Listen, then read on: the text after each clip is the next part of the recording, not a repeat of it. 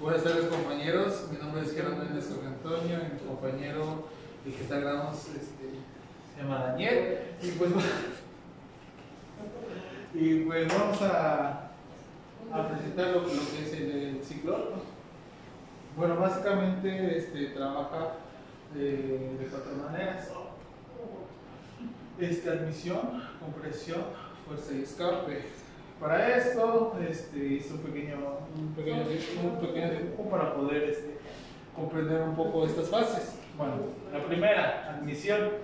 En este punto, eh, en conjunto, lo que sería este, en admisión se abriría la válvula, la válvula de admisión y al momento bajaría lo que es el pistón, por eso la flecha. Después de eso, las válvulas se cierran y el pistón sube para poder comprimir la mezcla de gasolina en la que entró en el, en el primer fase. De ahí, en la tercera, como ya está eh, comprimido lo que es la mezcla de aire y combustible, lo que hace es que otro componente hace que este hace que este, explote o prenda, es, prenda esa mezcla.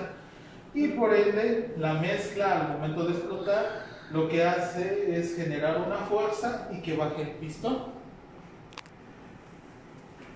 Justamente en esta parte, en la explosión, ya este, eh, la, mezcla, la mezcla de gasolina con aire este, se quema y lo restante es que el último, la última fase es de escape, que esa es que se abre la válvula y saca todo lo que queda, el, eh, lo resto de, de lo que se quemó en la mezcla.